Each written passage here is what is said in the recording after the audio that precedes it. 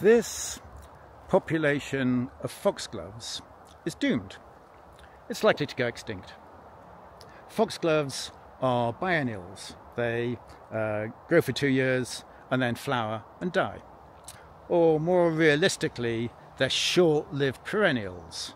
They survive for a few years, two, three, four, five years, and then after that they flower and then die. And they're species of disturbed patches. Once they occupy a patch, very often succession takes place and it no longer becomes suitable. However, they produce large numbers of seeds, uh, small seeds dispersed by the wind. So this patch may no longer be viable, but uh, the seeds may well be dispersed elsewhere and then sit in the ground.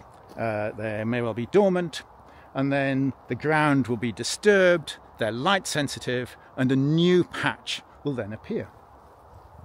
So rather than thinking about counting populations, uh, individuals in populations, we can think about thinking about counting the number of patches.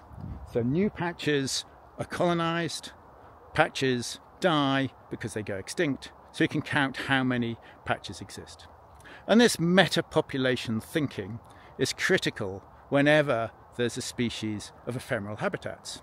It might be carcasses, it might be dung, dead wood, coppice woodland, urban habitats, or disturbed ground through fires or flooding or sand dunes, etc.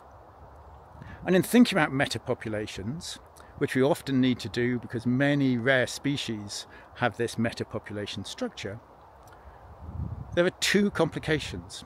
Firstly, we need to ensure that sufficient new patches are created. And secondly, we may want to ensure that we're protecting areas that might have patches in the future, even though they're unsuitable now. That makes saving species with metapopulations complicated, but it's essential.